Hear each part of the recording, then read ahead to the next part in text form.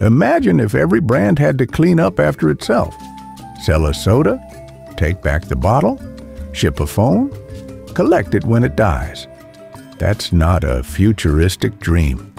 It's called Extended Producer Responsibility, EPR, and it's changing the way business is done. EPR equals three R's of real responsibility. Return the waste, recycle what can be saved, report your impact. Extended producer responsibility means you make it, you clean it. Let's take a real-world tour. France makes brands fund e-waste and textile recycling. India? Big brands must recover plastic or pay a fine. Japan tracks packaging like it's gold. It's accountability. With consequences. Less landfill, less ocean plastic. Better product design. And guess who's not paying for cleanup anymore? Yep, you. Tech is key. QR codes track returns. AI sorts materials.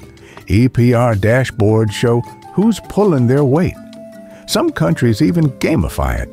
Leaderboards for recycling champs. Some companies hate this. Returns are hard, logistics, messy, and informal waste workers often get left behind. But the truth is, extended producer responsibility isn't just a policy, it's modern karma. In Sanatan Dharma, your actions follow you. Extended producer responsibility says the same. If you create it, you're responsible for what happens next. That's karma capitalism, electronics, packaging, plastics, textiles, even batteries. If it creates waste, extended producer responsibility is watching. So next time you see that EPR registered label, smile. The system's working. Let's make polluters pay and recyclers rule. Like, share, and tag a brand that needs this reminder.